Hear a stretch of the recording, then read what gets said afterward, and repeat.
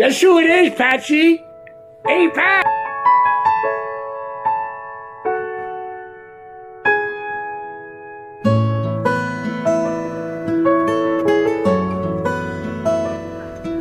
New York got a new hockey team.